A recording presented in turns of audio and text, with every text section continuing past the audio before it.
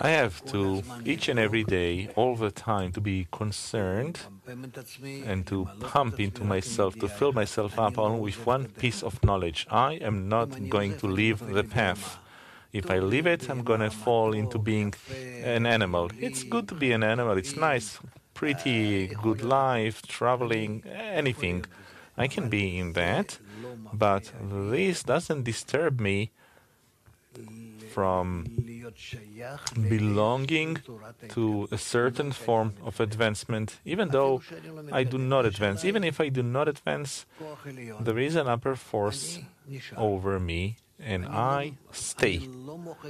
I do not erase myself from his list, and I do not allow him to erase me to, from his list.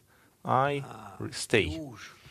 The despair where I reach it and I stay in the despair of my own forces, it later becomes an inner prayer, a non stop prayer where I demand, I nag, I expect and wait from Him to save me.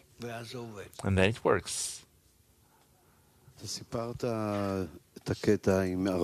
You talked about each time when you tell a story about your relationship with the Rabash, it really awakens the friend's heart. So, so you overcame the candy, which was sweet, and then not. So that's how we want to overcome also.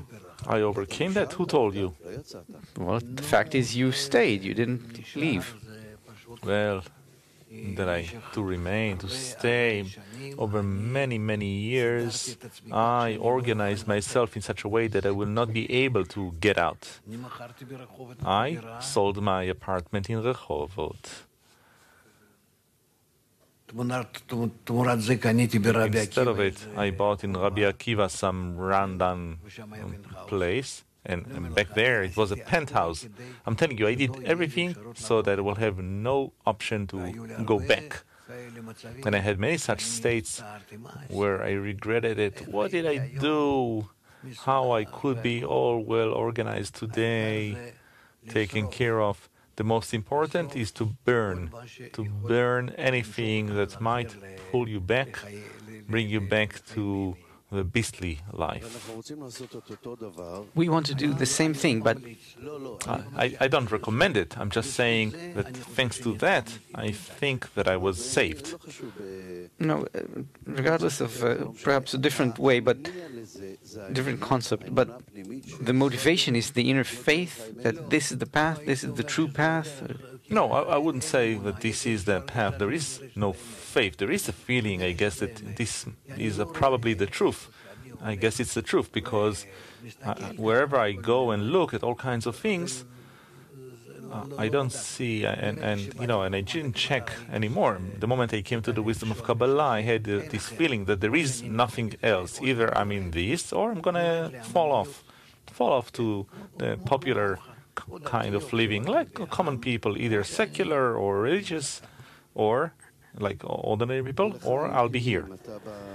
And you had the means, you're a scientist in your previous profession. Do you think that helps? Yes, because you understood that this is true. You saw in some way, in terms of biology and so on, that no. there's ah. truth to. No, that only helped me to see that the world is round, that it is arranged in a certain way, it's integral, and this general harmony exists in the entire world except for mankind who is bringing this whole this mess into this system. But no, no, nothing. No one has any. No. No one comes to the wisdom of Kabbalah because he learned something before or because he was born with certain qualities. It's not the wise who studies, it's not the righteous who you know, because he had a righteous father or something. Nothing. You have nothing, nothing that you have in the human society. You can know many languages and you went to several universities and say whatever you want. It will not help you. None of it. It won't help. The Creator will spoil the path wherever you require it. No.